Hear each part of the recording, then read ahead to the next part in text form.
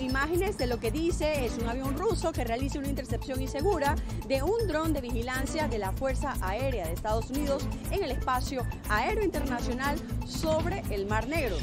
El video, de una duración de 42 segundos, dado a conocer hoy jueves, muestra un Su-27 ruso acercándose a la parte trasera del dron MQ-9 y comenzando a liberar combustible a medida que pasa, pues así lo dijo el Pentágono. El ejército estadounidense indicó que abandonó el MQ-9 Repair en el mar el martes después de que el avión de combate ruso arrojó combustible sobre el vehículo aéreo no tripulado en un aparente intento de cegar sus instrumentos ópticos y expulsarlo del área y luego golpeó su hélice.